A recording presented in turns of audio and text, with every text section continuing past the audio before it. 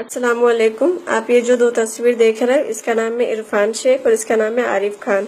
दोनों भी जिगरी दोस्त हैं। ये दोनों भी स्टेट एजेंट का काम करते हैं और इनके ऑफ़िस है गोरेगांव वेस्ट, भगत सिंह नगर नंबर दो में। ऑफ़िस का नाम है आयान प्रॉपर्टीज़ और दोनों भी गोरेगांव वेस्ट, राम मंदिर में रहते हैं। इरफान शेख ने कई शादियाँ कर चुका है। ये हर बार लड़कियों से शादी करेगा, उसके घर वालों से लाखों रुपए ऐट लेगा और फिर लड़कियों को डराएगा, धमकाएगा ताकि कोई उसके खिलाफ आवाज़ न उठा पाए। और यह आरिफ खान। ये लड़कियों से शादी तो नहीं करता, लेकिन लड़कियों से प्यार का नाटक करेगा, अपनी हवस पूरी करेगा और छोड़ देगा। इरफान शादी करके अपनी हवस पूरी करता है घर वालों उसके घर वालों से लाखों रुपए हट लेता है और आरिफ बिना शादी किए अपनी हवस पूरी करता है, लड़कियों को छोड़ देता ये सब बातें मैं आपको इसलिए बता रही हूँ क्योंकि मैं खुद इरफान शेख की, इरफान शेख की इस शिकार हो चुकी हूँ। इरफान शेख ने पहले हम लोग से मुलाकात किया, नेट से मुझे नंबर मिला था। ये मेरे घर वालों के पास आया। पहले मेरे घर वालों का दिल जीता। मेरे घर वालों से प्रॉपर्टी करने के बहाने बिज़नेस करने के बहाने सात से आठ लाख रुपए ले लिया है और अब घर वाले पैसे मांगते हैं तो देने के लिए साफ़ साफ़ मना करा और धमकी दे रहा है। फिर इसने मेरे घर वालों का भरोसा दिलाने के लिए मुझसे शादी भी किया। शादी हमारी चार सितंबर को हुई थी और फिर अचानक एक महीना दस दिन के बाद इरफान शेख, उसकी बीवी, उसकी पूरी फैमिली मेरे पास आई। मुझे डरा धमका के मार पीट के ज़बरदस्ती तलाक के पेपर पे मेरा साइन ले लिया और अंगूठा लगा दिए। मैंने कई बार आवाज़ उठाने की कोशिश की, लेकिन मेरी कोई सुनवाई नहीं। इसने मुझे इतना धमकी दे के रखा था। मेरी चार साल की लड़की की जान लेने की धमकी दी थी, जिससे कि मैं घर के बाहर नहीं निकल सकती थी और मेरी जान का भी खतरा है। इरफान शेख को मेरे बारे में पूरी बातें पता थी मेरे पास्ट के बारे में उसको एक एक बात पता थी वो मेरी मजबूरी का भी फ़ायदा उठाए। इरफान शेख ने ऐसा कई लड़कियों के साथ कर चुका है। लड़कियों से शादी करेगा घर वालों से लाख रुपए उठेगा, फिर लड़की को दड़ा धमका के ज़बरदस्ती डिवोर्स पेपर पे साइन अंगूठा ले लेता है, ताकि लड़की कुछ ना कर सके। उसने इससे पहले कई लड़कियों के साथ कर चुका है। अगर उन लड़कियों ने आवाज़ उठाई होती तो शायद आज मैं इसके चंगुल में नहीं फंसती। इसलिए मैं आवाज़ उठा रही हूँ की मेरे बाद कोई और लड़की इनके चंगुल में न फंसे। प्लीज़ आप लोग इस वीडियो को इतना शेयर करें कि पूरे इंडिया में वीडियो जाए और कोई लड़की इनकी शिकार न बन पाए। इरफान शेख ने प्रॉपर्टी के मामले में भी कई घपला किए, लेकिन ये हमेशा पैसे का लेन देन करके हर मामला खत्म कर देता है। इरफान शेख की सेटिंग पुलिस वाले पॉलिटिक्स वाले, नेता, महिला मंडल एडवोकेट कानून, हर एक से इसकी सेटिंग है। क्योंकि इसने मुझे साफ़ साफ़ बोला था और वो उसका और वो मुझे मिल भी गया। क्योंकि मैं चौकी में जब कंप्लेन करने गई इसके अगेंस्ट चौकी वालों ने मेरी कंप्लेन नहीं लिखा, मुझे रिटर्न भेज दिया।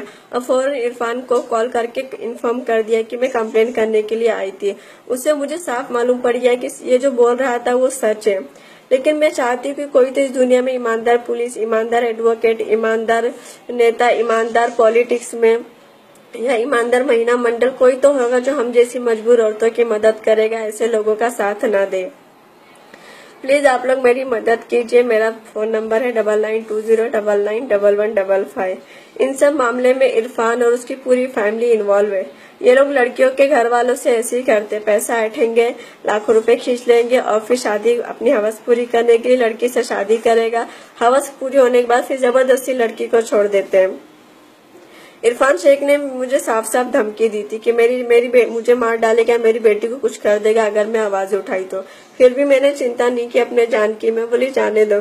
मैं मरूँगी तो मरूँगी लेकिन इस दुनिया लेकिन दुनिया के सामने इस, इस इंसान की सच्चाई लेके आऊँगी।